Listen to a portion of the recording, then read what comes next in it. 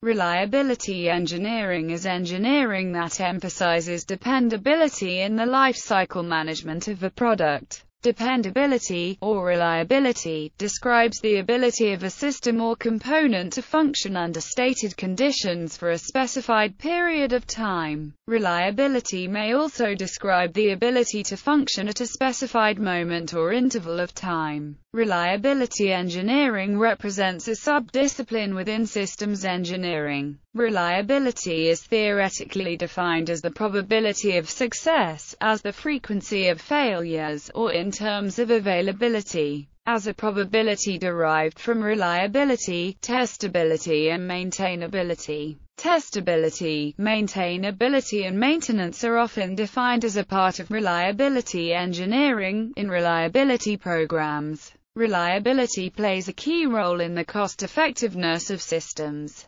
Reliability engineering deals with the estimation, prevention and management of high levels of lifetime engineering uncertainty and risks of failure. Although stochastic parameters define and affect reliability, according to some expert authors on reliability engineering, reliability is not achieved by mathematics and statistics. You cannot really find a root cause by only looking at statistics. Nearly all teaching and literature on the subject emphasize these aspects, and ignore the reality that the ranges of uncertainty involved largely invalidate quantitative methods for prediction and measurement. Reliability engineering relates closely to safety engineering and to system safety, in that they use common methods for their analysis and may require input from each other. Reliability engineering focuses on cost of failure caused by system downtime, cost of spares, repair equipment, personnel, and cost of warranty claims.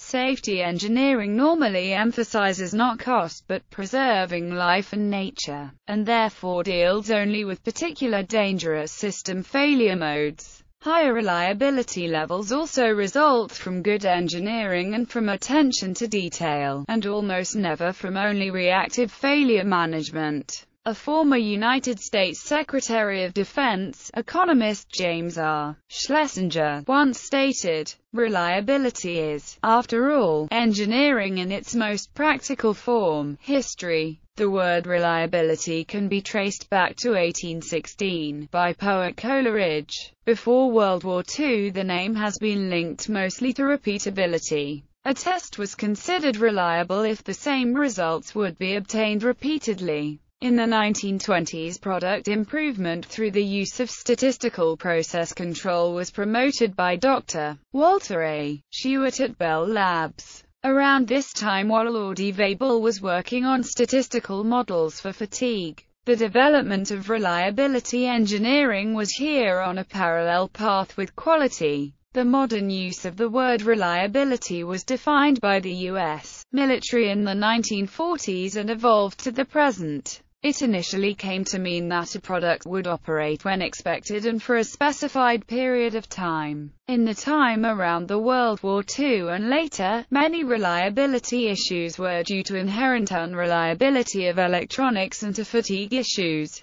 In 1945, M.A. Miner published the seminal paper titled Cumulative Damage in Fatigue, in an ASME journal. A main application for reliability engineering in the military was for the vacuum tubers used in radar systems and other electronics, for which reliability has proved to be very problematic and costly. The IEEE formed the Reliability Society in 1948. In 1950, on the military side, a group called the Advisory Group on the Reliability of Electronic Equipment AGREE, was born. This group recommended the following three main ways of working. Improve component reliability. Establish quality and reliability requirements for suppliers. Collect field data and find root causes of failures. In the 1960s more emphasis was given to reliability testing on component and system level. The famous military standard 781 was created at that time. Around this period also the much-used military handbook 217 was published by RCA and was used for the prediction of failure rates of components.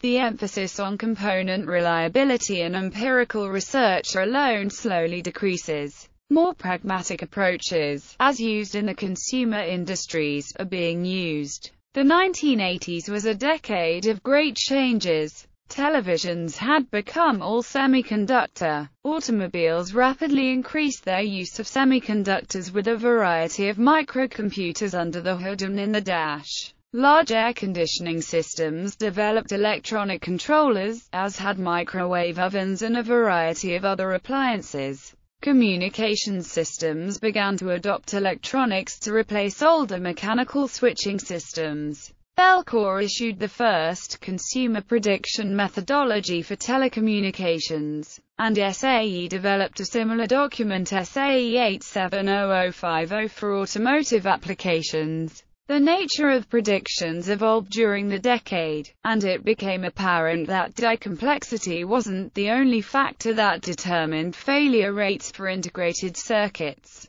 Kam Wong published a paper questioning the bathtub curve. See also reliability-centered maintenance. During this decade, the failure rate of many components dropped by a factor of 10. Software became important to the reliability of systems. By the 1990s, the pace of IC development was picking up. Wider use of standalone microcomputers was common, and the PC market helped keep IC densities following Moore's law and doubling about every 18 months. Reliability engineering now was more changing towards understanding the physics of failure. Failure rates for components kept on dropping, but system-level issues became more prominent. Systems thinking became more and more important. For software, the CMM model was developed, which gave a more qualitative approach to reliability. ISO 9000 added reliability measures as part of the design and development portion of certification. The expansion of the World Wide Web created new challenges of security and trust.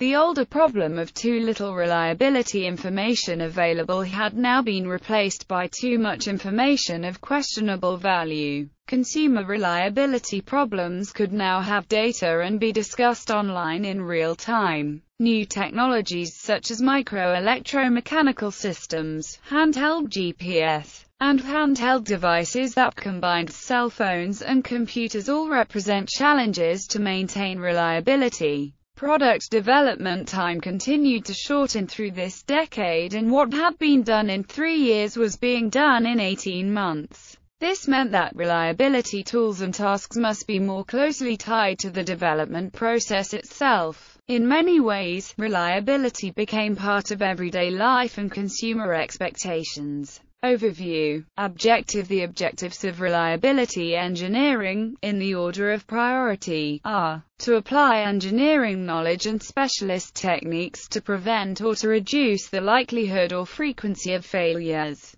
to identify and correct the causes of failures that do occur despite the efforts to prevent them, to determine ways of coping with failures that do occur, if their causes have not been corrected, to apply methods for estimating the likely reliability of new designs, and for analyzing reliability data. The reason for the priority emphasis is that it is by far the most effective way of working. In terms of minimizing costs and generating reliable products, the primary skills that are required, therefore, are the ability to understand and anticipate the possible causes of failures, and knowledge of how to prevent them. It is also necessary to have knowledge of the methods that can be used for analyzing designs and data, scope and techniques to be used within reliability engineering. Reliability engineering for complex systems requires a different, more elaborate systems approach than for non-complex systems. Reliability engineering may in that case involve system availability and mission readiness analysis and related reliability and maintenance requirement allocation, functional system failure analysis and derived requirements specification, inherent design reliability analysis and derived requirements specification for both hardware and software design, system diagnostics design, fault-tolerant systems,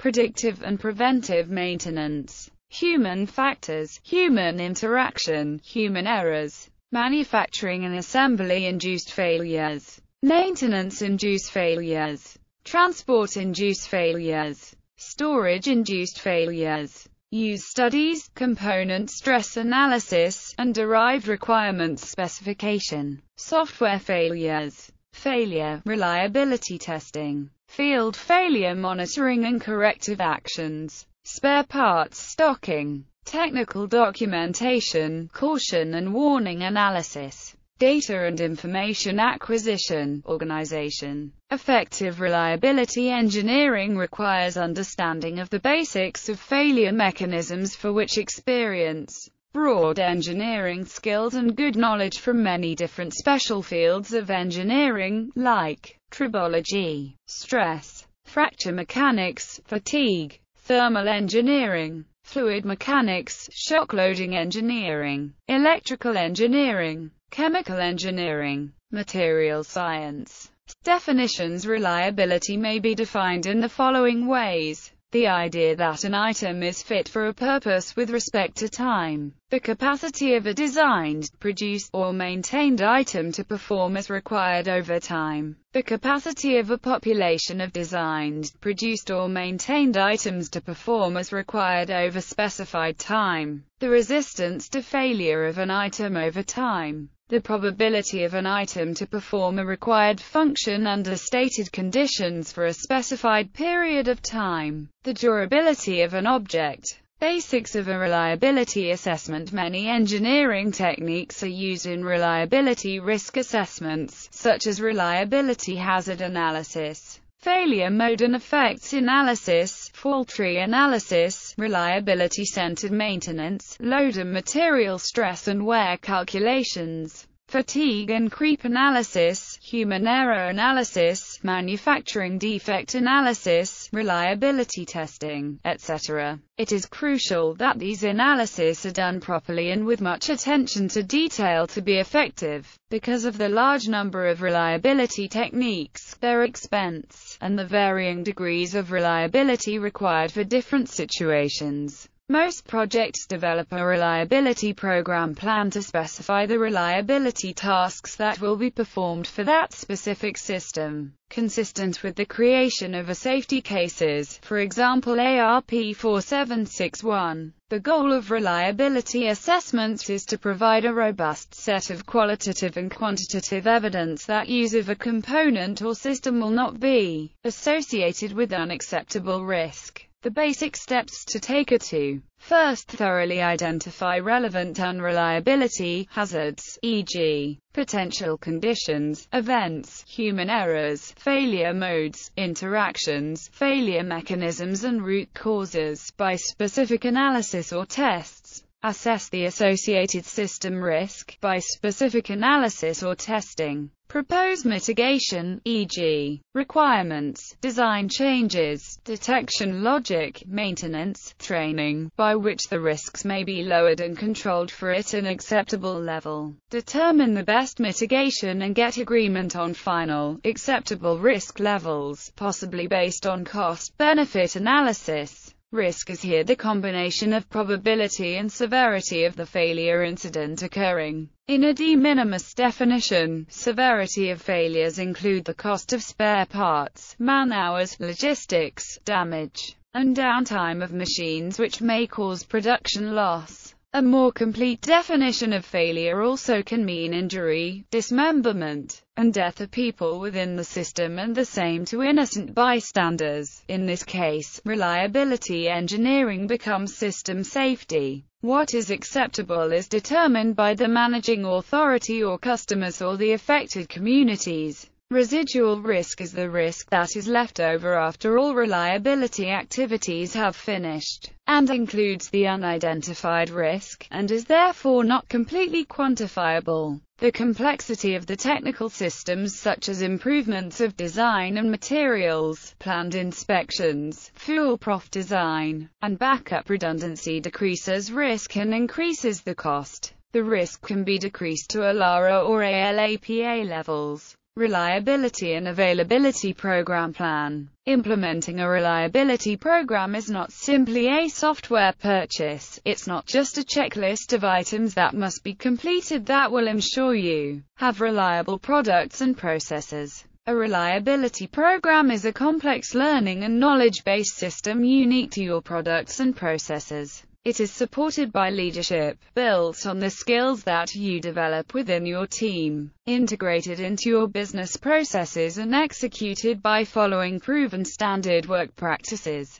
A reliability program plan is used to document exactly what best practices are required for a particular system, as well as clarify customer requirements for reliability assessment. For large-scale complex systems, the reliability program plan should be a separate document. Resource determination for manpower and budgets for testing and other tasks is critical for a successful program. In general, the amount of work required for an effective program for complex systems is large. A reliability program plan is essential for achieving high levels of reliability, testability, maintainability, and the resulting system availability, and is developed early during system development and refined over the system's life cycle. It specifies not only what the reliability engineer does, but also the tasks performed by other stakeholders. A reliability program plan may also be used to evaluate and improve availability of a system by the strategy of focusing on increasing testability and maintainability and not on reliability. Improving maintainability is generally easier than improving reliability. Maintainability estimates are also generally more accurate.